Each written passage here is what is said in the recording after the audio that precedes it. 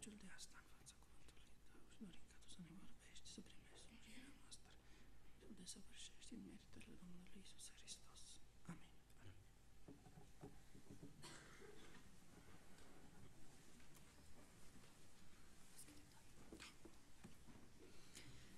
Vă spunem pacea Domnului și bine ați venit în casa lui Dumnezeu. Vă invităm ca în numele Domnului Hristos să deschidem serviciul divin de în această seară cu imnul 410, Iubirea ce ne face așa de fericiți.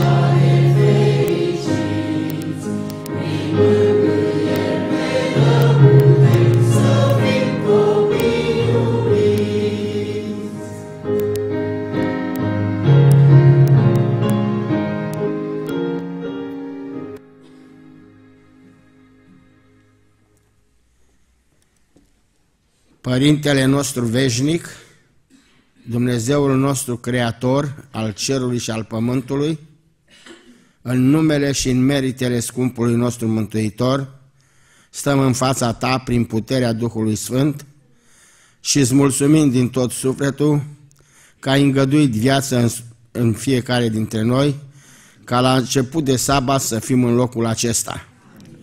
Îți mulțumim pentru iubirea Ta, așa cum am și cântat și tocmai această iubire ne-a strâns la un loc ca să ascultăm cuvântul Tău, ca Tu să ne binecuvintezi pe fiecare cu puterea Duhului Sfânt, ca cuvântul auzit pe care Tu îl vei da în seara aceasta să transforme fiecare caracter în parte.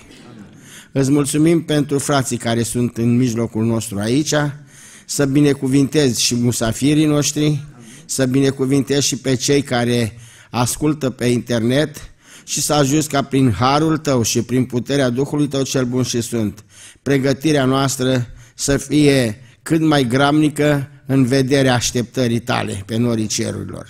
Să binecuvintezi și slujitorul tău și pe noi toți și numele tău să fie lăudat Tată, al Domnului Isus Hristos și al Duhului Sfânt. Amin.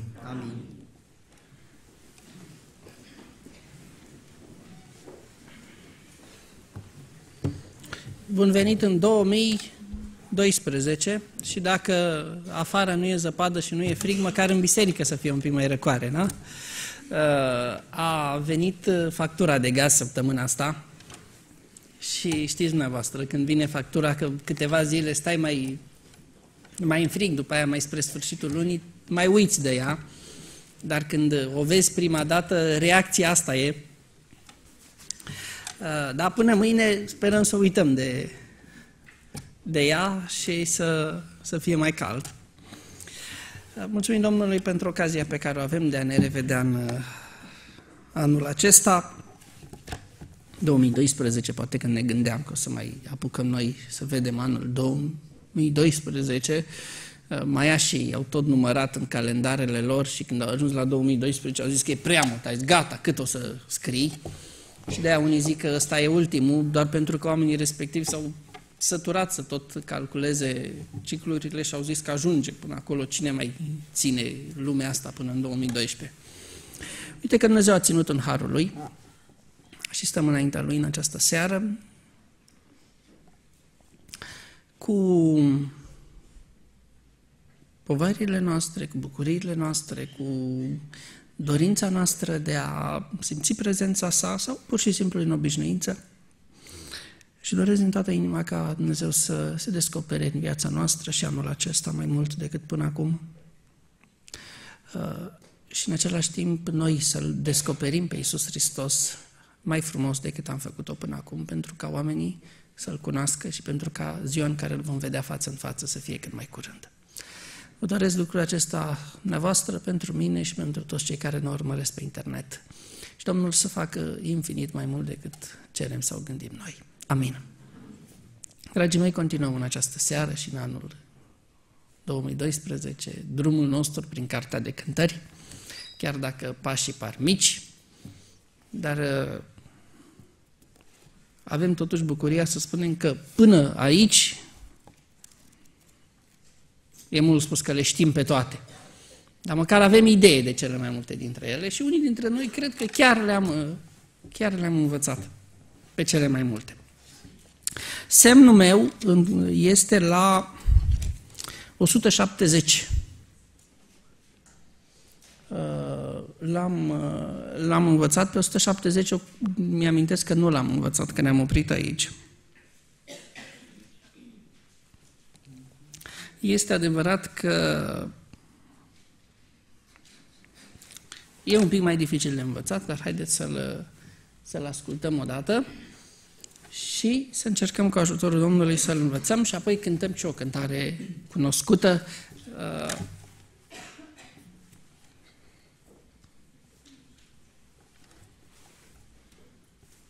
o 170. Ah, privirea nu mi ajunge.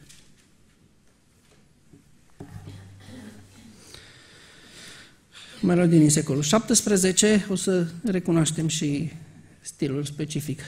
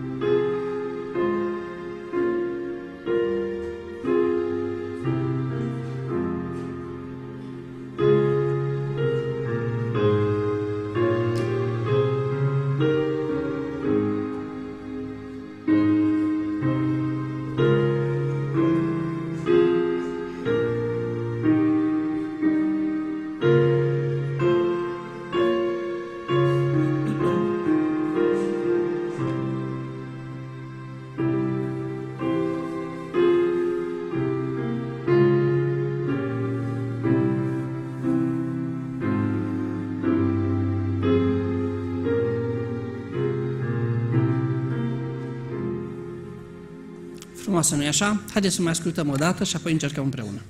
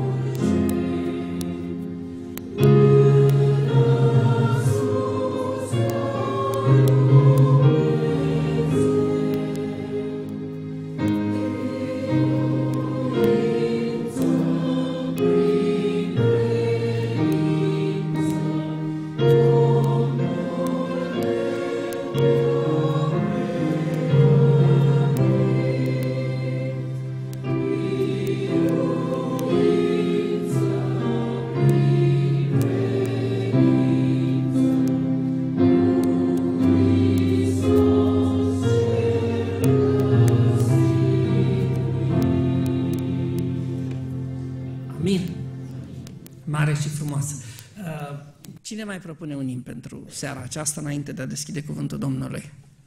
Cine vrea? Cât? 171. Nu știam că și eu te-am răstignit. Haideți să cântăm prima, a doua și ultima strofă, da? 1, 2 și 5. Da? 171. Nu știam că și eu te-am răstignit.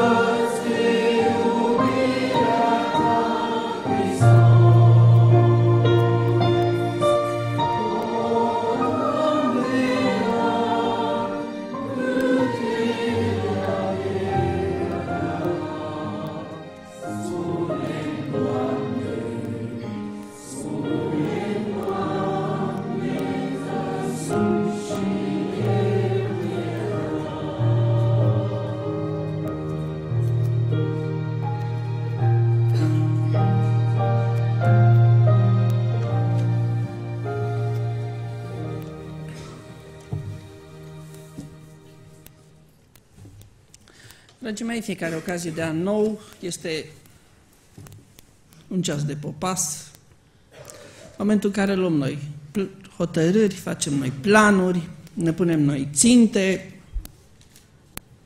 și uneori, dacă nu ajung făgăduințele, și motivul unor noi supărări. Uh, deși nu se întâmplă nimic la trecerea dintre ani, o așteptăm cu emoție, mai uh, mult decât în alte ocazii stăm uh, fără să dormim până la ora aceea și apoi vine ziua următoare care ne găsește la fel, nu?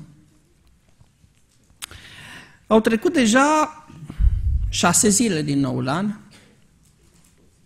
și mă întreb dacă suntem altfel sau suntem la fel? Realitatea este că în foarte, foarte multe privințe suntem la fel și lumea din jurul nostru e la fel. Noi suntem mult mai asemănători cu lumea în care trăim decât vrem să credem. Metodele, practicile, acțiunile, slăbiciunile, dacă vreți, ale lumii sunt de multe ori copiate în biserică cu o fidelitate demnă de o cauză mai bună. La începutul acestui an, aș dori să Citim din partea Domnului un pasaj din Matei, capitolul 20. Și să începem de la versetul 20. Atunci mama fiilor lui Zebedei s-a apropiat de Isus împreună cu fiii ei și s-a închinat vrând să-i facă o cerere.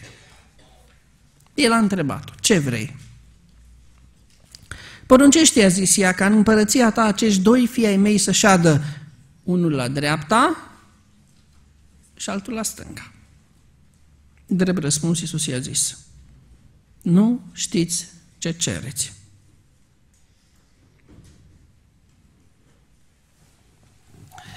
Puteți voi să beți paharul pe care am să-l beau eu și să fiți botezați cu botezul cu care am să fiu botezat eu? Putem, i-au zis ei. Și el a răspuns, este adevărat că veți bea paharul meu și veți fi botezați cu botezul care am să fiu botezat eu, dar a ședea la dreapta și la stânga mea nu atârnă de mine să dau, ci este păstrată pentru aceea pentru care a fost pregătită de tatăl meu. Cei zece când au auzit s-au mâniat pe cei doi frați. Iisus i-a chemat și le-a zis, Știți că domnitorii neamurilor domnesc peste ele și mai marilor le poruncesc cu stăpânire. Între voi să nu fie așa. Ci oricare va vrea să fie mare între voi, să fie slujitorul vostru. Și oricine va vrea să fie cel din tâi între voi, să vă fie rob. Pentru că nici Fiul omului n-a venit să îi se slujească, ci El să slujească și să-și dea viața ca răscumpărare pentru mulți.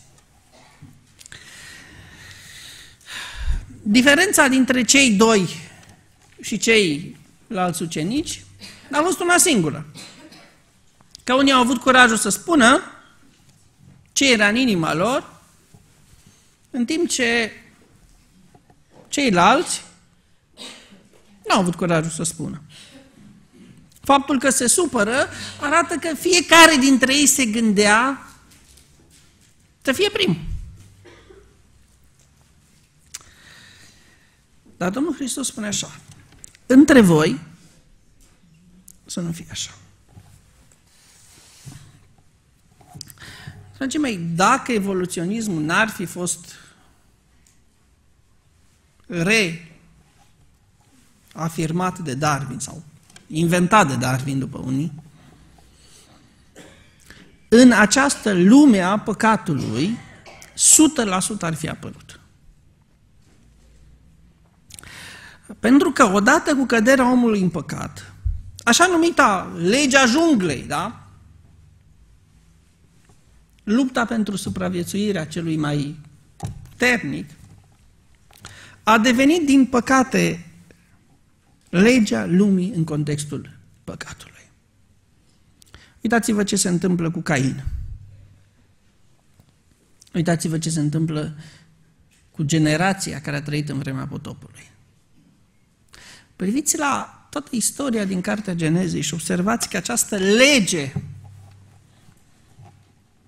a luptei pentru a fi cel mai bun, nu din ceea ce poți fi, ci mai bun decât ceilalți, devine legea pământului. Mirajul de a fi cel mai bun, cel mai sus, cel mai frumos, cel mai bogat, cel mai cel, este momeala cu care satana vinde iadul oamenilor de azi la fel cum l-a vândut primilor noștri părinți. Este momeala cu care el vinde frustrarea în loc de fericire, suferința ca vindecare, neliniștea ca pace.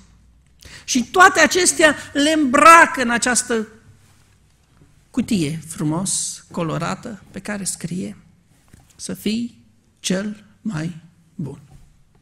Realitatea este că nu putem ieși din acest context al competiției. Ne naștem într-o lume a competiției și uh, tendința noastră este întotdeauna spre competiție. Știți de ce? Pentru că în inima omului există foarte mult egoism, există foarte multă răutate și foarte multe lene. Vezi de ce lene? Pentru că legea aceasta a egoismului, a păcatului, a, încerc, a tendinței de a fi cel mai bun decât ceilalți, ce înseamnă? Că în țara orbilor, chiorul e împărat. Deci, dar nu înseamnă că vede bine, mă înțelegeți? Și dacă uh, sunt câțiva pe lângă tine față de care tu te simți superior, satana te ispitește să nu mai dai tot ce poți, pentru că te compari cu ei și nu, stai bine. Dragii mei, toată stima de sine a unora se bazează doar pe sentimentul că față de alții ei sunt altfel. Este copleșitor gândul că cea mai mare parte a progresului este construit pe invidie și egoism, așa zice Eclesiastul. Pisma unuia împotriva altuia. Ori în acest context, în care alergând spre sfârșit, spre finalul acestei istorii, noi creștem egoismul, așa zice Biblia, da? Oamenii vor fi iubitori de sine, în mod special. Iisus Hristos spune, între voi să nu fie așa. Uitați-vă la reclame. Care este motoul cu care se vinde orice produs? Dacă cumperi această pastă de dinți, o să ai cei mai albi dinți. Dacă cumperi uh, acest creion, ești cel mai bun. Dacă nu, cumperi acest detergent, ai cea mai curată casă. Dacă trebuie să, trebuie să și folosești, nu?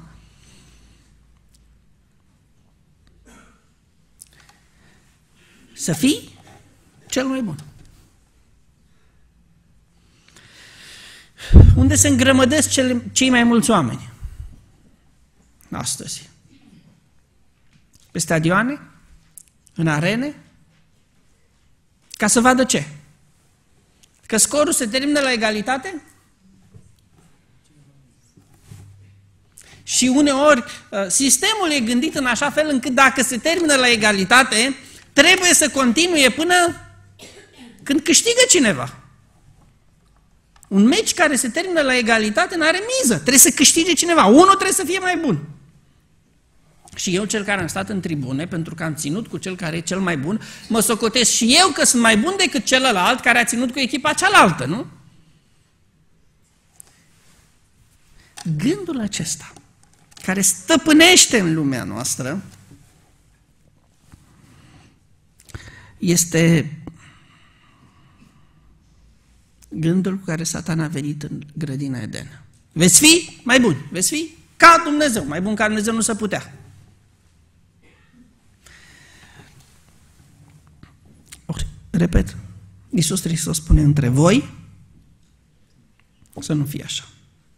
Vedeți, lupta care se dă în lumea noastră de astăzi este lupta între principiile cerului și cele ale pământului. Satana la început a zis așa, nu e bine aici în cer, eu vreau o lume mai bună. Și a găsit un înger, doi, i-a convins că el are dreptate și a spus, Doamne, nu-i corect cum zici tu, noi putem să facem o lume mai bună. N-a mers acolo. A venit pe pământ. Ce încearcă satana să facă pe lumea asta? Încearcă să demonstreze că el poate crea pe pământ o lume mai bună decât e lumea lui Dumnezeu. Știți care e cea mai mare satisfacție a sa? Atunci când eu și dumneavoastră privim la principiile lui și spunem, da, uneori, până treci podul, ai nevoie ca să, să fii cel mai bun. Dar nu cel mai bun din ceea ce poți fi tu, și cel mai bun comparându-te cu alții.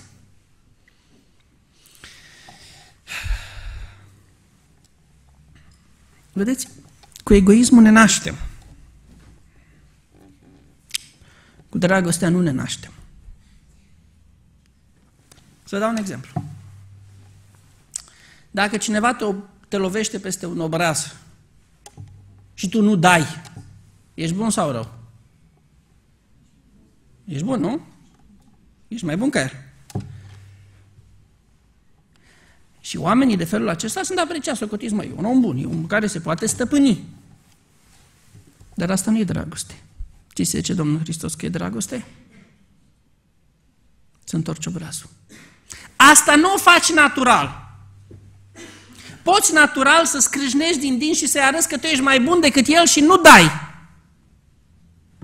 Dar ca să întorci obrazul, e un act conștient, e, e dincolo de bunătate obișnuită. Uh, la fel și cu mila, da? Dacă te silește cineva să mergi cu el o milă și mergi, ești un om bun. Dar dragostea merge a doua milă. De asta spun, dragostea pe care nu o cultiv conștient nu e dragoste. Și pentru mine și pentru dumneavoastră spun lucrul acesta, pentru că dacă nu ne punem ca țintă să iubim pe ceilalți și nu facem uh, ceva conștient în direcția aceasta, doar simpla noastră bunătate este egoism. E o modalitate prin care eu arăt că eu sunt bun, eu sunt uh, credincios, uh, eu am bani sau eu n-am bani, dar am suflet bun. Eu. Și fiecare încearcă să arate ce are el. Dar dragostea este mai mult decât atât.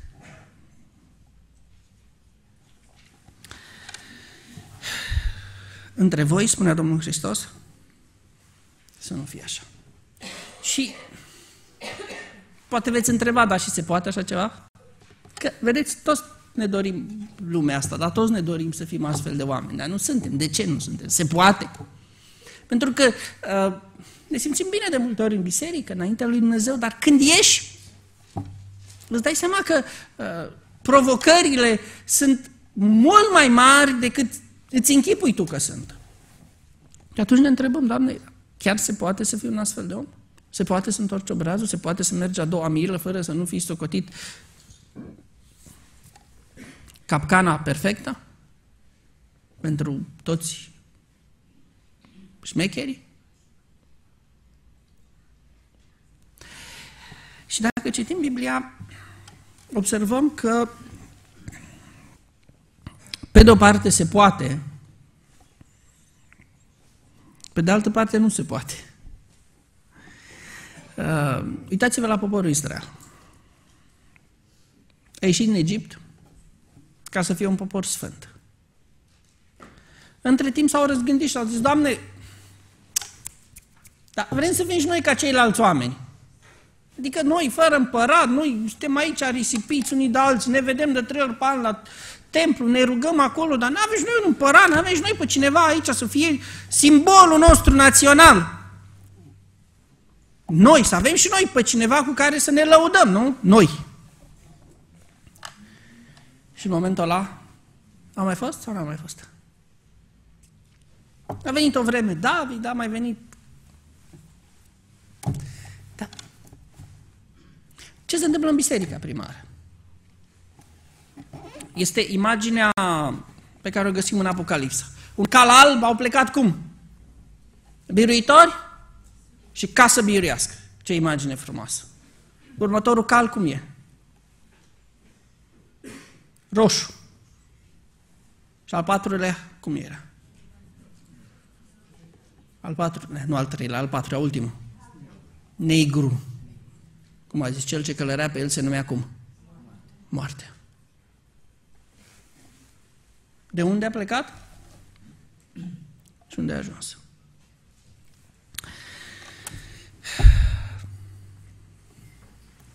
Mai departe. Bisericile. Filadelfia. Ce se spune despre ea? De rău. Ce spune Domnul de rău despre Filadelfia? Nici o mustrare. Ce spune Domnul de bine despre la Odiseea?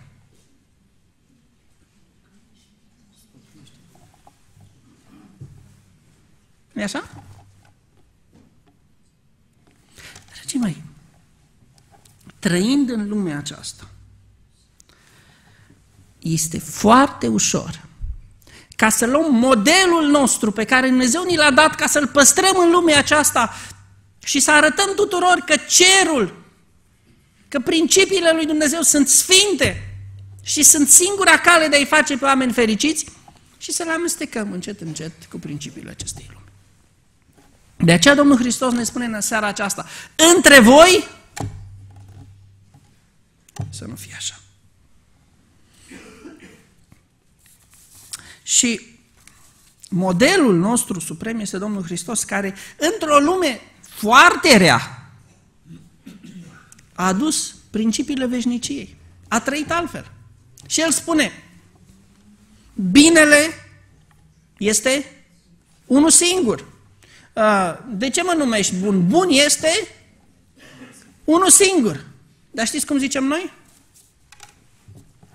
Ascultă că spun eu ce e bine. Binele cum e la noi? E binele nostru. Bun. Ne zicem noi că e bun. Eu n-aș putea, mă, să fac asta niciodată. Eu nu știu cum poate fratele să facă treaba asta, dar eu, eu n-aș putea să fac... N-a zis niciodată așa? Cine e bun? Și sunt convins că dacă am merge cu gândurile acestea în cerul, i-am învățat și pe îngeri cum să poarte. Și le-am spune și lor ce e bine. Pentru că în discuțiile noastre noi încercăm să ne convingem unul pe alții, nu că Isus Hristos e singurul bine și că El are dreptate, ci că noi avem dreptate și că noi suntem mai buni. Eu n-am făcut asta niciodată, păi să spun eu ce am făcut eu. A, păi eu am trăguit greu, am suferit, dar am păstrat credința, nu ca, uite. N-am zis niciodată așa. Frații mei, asta e comparația. Asta este momeala cu care satana vine la noi și zice, tu ești cel mai bun. Tu nu ești ca ceilalți. Și uneori ne rugăm ca fariseu, Doamne, îți mulțumesc ca cei, că nu sunt ca ceilalți oameni cu voce tare, alte ori ne rugăm ca el în gând. Și întreba un frate odată și vame și când s-a dus a doua oară, oare cum să o fie rugând?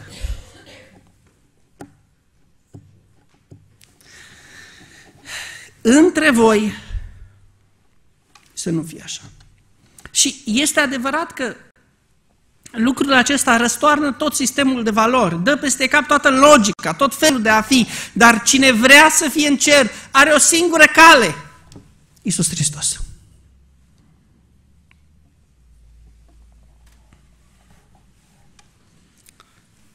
Și despre el se spune că pe când era pe pământ, cu strigăte mari și cu lacrimi. De ce? Pentru că el socotea rugăciunea, de ce dumneavoastră, ca un privilegiu și ca o necesitate. De aceea, dragii mei, și dori să privim cu seriozitate timpurile pe care le trăim. Și Apostolul Pavel spune în Efeseni, capitolul 5, versetul 15. Luați seama, deci, să umblați cu băgare de seamă, nu ca niște neînțelepți, ci ca niște înțelepți. Răscumpărați vremea, căci zilele sunt rele. Și privind timpurile pe care le trăim, să înțelegem, versetul 17, de aceea nu fiți nepricepuți și înțelegeți care este voia lui Dumnezeu cu privire la voi. Vedeți? Fie că ne place, fie că nu. Zilele noastre pe pământul acesta sunt numărate. Numărate nu zic în sensul că Dumnezeu ne-a dat atâția ani și atâția trăim. Mai tăiem și noi din ei din când ne-a dat. Dar avem un număr limitat de zile, da? Zici că cineva a inventat un ceas, pune acolo uh, vârsta, sexul și în funcție de vârsta medie, speranța de viață, îți calcula câte ore mai de trăit. Și uitai la el și vedeai cum scade câte una, câte una, dar nu-ți garanta nimeni că le trăi pe alea pe toate. Adică era totuși o presupunere că trăiești cât speranța medie de viață, dar poate trăiești mai puțin, poate trăiești mai mult. Timpul nostru este limitat. Nu suntem veșnici aici, niciunul dintre noi. Frații mei, gândiți-vă că în locul în care lucrăm, Nu lucrăm pentru totdeauna. Gândiți-vă că pe scara pe care stăm nu vom sta acolo pentru totdeauna. Gândiți-vă că pe strada pe care mergem nu vom merge acolo pentru totdeauna. Avem un timp foarte scurt în care trebuie să arătăm fie principiile lui Dumnezeu, fie principiile celui rău. Să știți că lucrurile nu merg amestecate. Ori arătăm că Dumnezeu are dreptate, ori arătăm că nu e chiar așa. Se poate și altfel. Și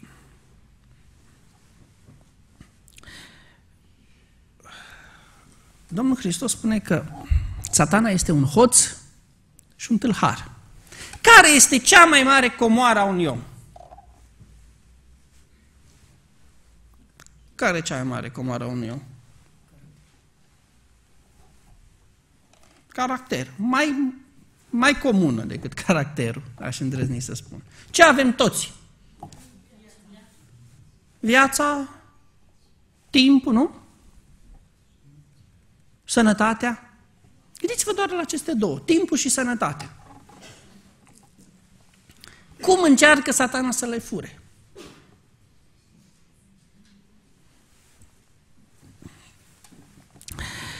Gândește-te la timpul pierdut în conversații fără rost, stând pe internet sau la televizor, preocupându-ne cu temeri imaginare sau cu regrete târzii. Satana încearcă să ne fure timpul. Dar uneori ne fură timpul nu cu lucruri rele. Aduceți-vă aminte de Maria și Marta. Ne fură timpul cu ce? Cu lucruri bune, dar care nu l-au în centru pe Iisus Hristos. Uneori chiar și lucrurile bune pot fi un obstacol în care împlinirii planului lui Dumnezeu. Richard Swanson, medic, a scris o carte despre stres și anxietate și el le-a pus pe amândouă la un loc și a vorbit despre supraîmpovărare. Și spunea el, suntem supraîmpovărați de propriile noastre angajamente.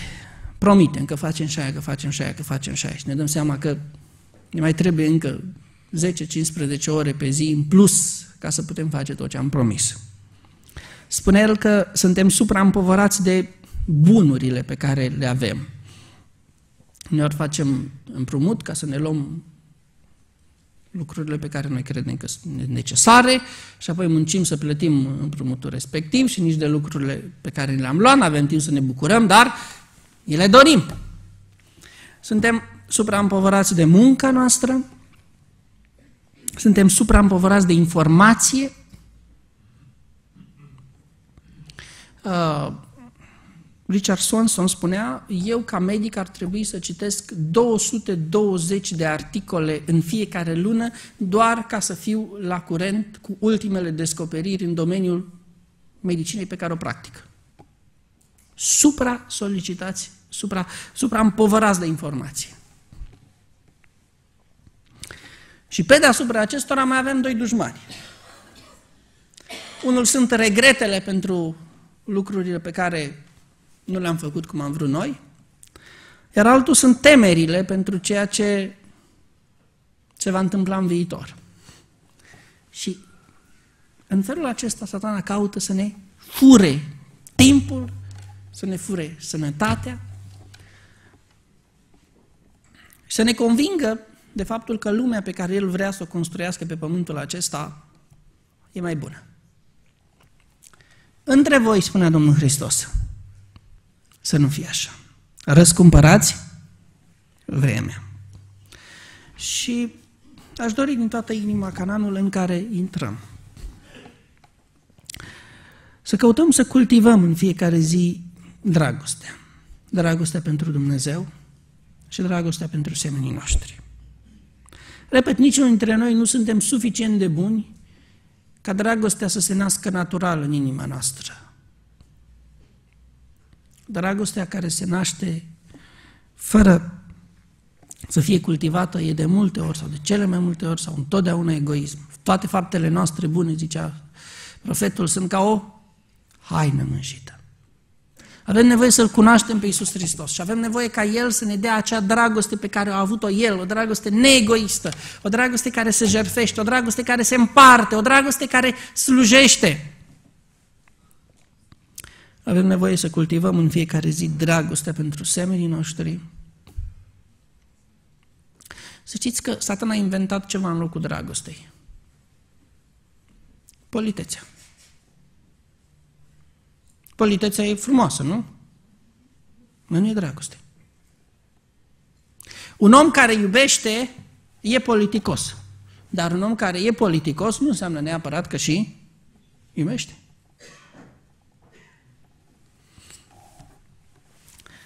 Aș dori să cultivăm mai mult decât până acum rugăciunea. Și spune Elena, roagă-te ca și când viața ta ar depinde de asta.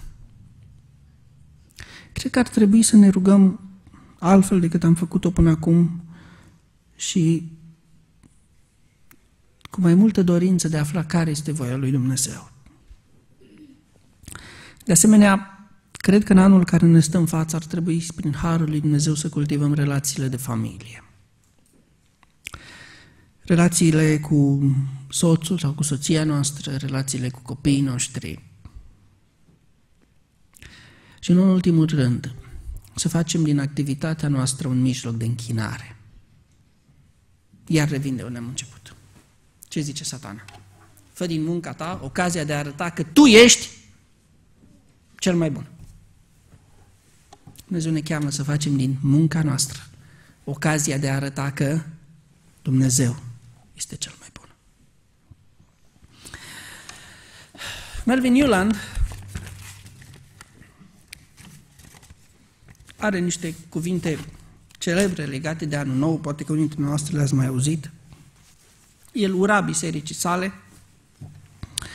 suficientă fericire pentru a ne menține bucuroși și suficiente încercări pentru a ne ține tari. Suficientă durere pentru a rămâne umili, umani și suficientă speranță pentru a ne ține fericiți.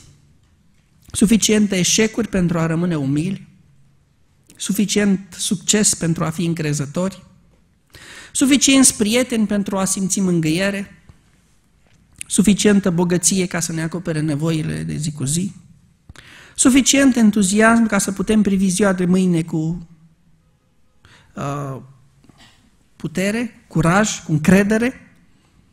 Și suficientă determinare pentru a face fiecare zi mai bună decât cea de ieri. Aș vrea să închei cu Roman, capitolul 13,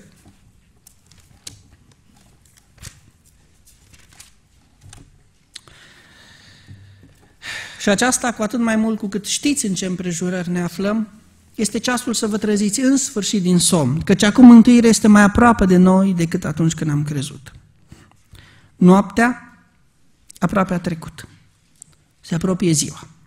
Să ne dezbrăcăm, dar de faptele întunericului, să ne îmbrăcăm cu armele luminii. Să trăim frumos ca în timpul zilei nu în chefuri și în beții, nu în curvii și în fapte de rușine, nu în certuri și în pismă, ci îmbrăcați-vă cu Domnul Isus Hristos. Acesta să fie, dragii mei, rugăciunea noastră pentru anul care ne stă în față. Altfel de oameni, pentru că facem parte dintr-o altfel de lume. Oameni care nu trăiesc ca să arate că ei sunt cei mai buni, care nu vorbesc pentru a arăta că ei sunt cei mai înțelepți, ci oameni care au întotdeauna un singur cel, Iisus Hristos și El răstignit. El să fie bucuria noastră în fiecare zi. Amin.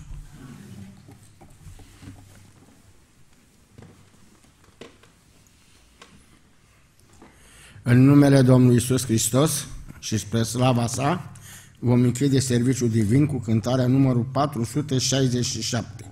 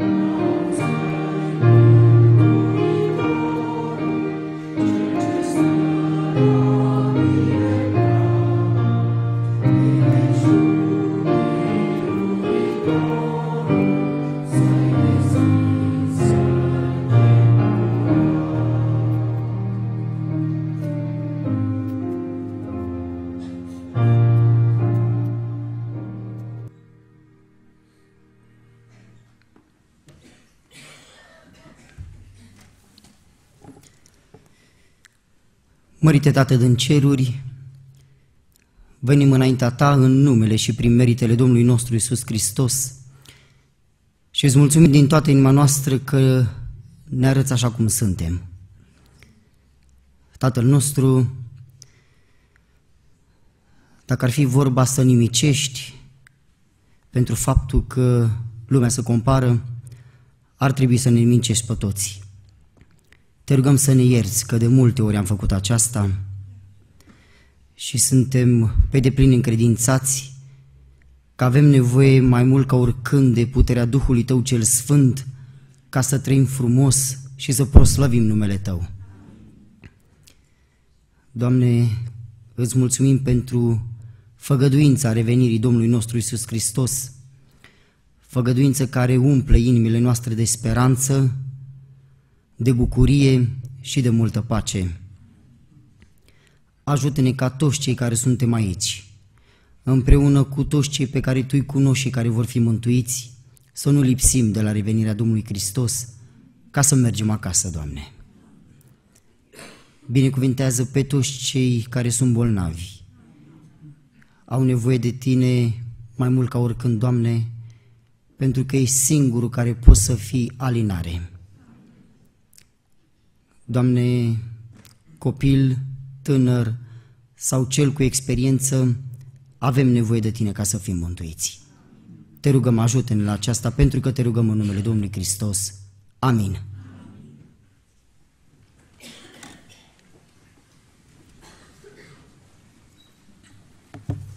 Dragii mei, cu această cântare și rugăciune de sfârșit, proiectul în această seară s-a încheiat.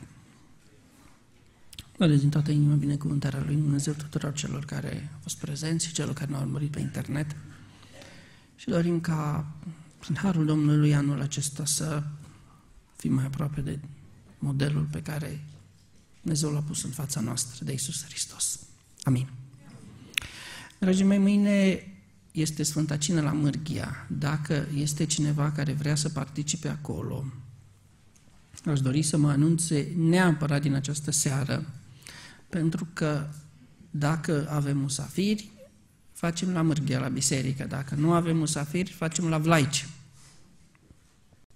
Din cauza aceasta, aș vrea să știu ca să facem cald, să ne ducem la Mârghia dacă sunt și musafiri de la Pitești, dacă nu, ne întâlnim la Vlaici ca de obicei. Doresc uh, binecuvântarea lui Dumnezeu în această zi de sabat și El să fie scutul și ajutorul nostru în toate. De asemenea, pentru că este început de an, mâine după amiază ne vom vedea din nou cu ajutorul Domnului și sperăm să întâlnim din Cuvântul lui Dumnezeu cu o temă provocatoare. Nu vă spun mai multe despre ea, vă aștept mâine după amiază ca să, să discutăm despre ea. Dumnezeu să fie slăvit prin toate. Amin.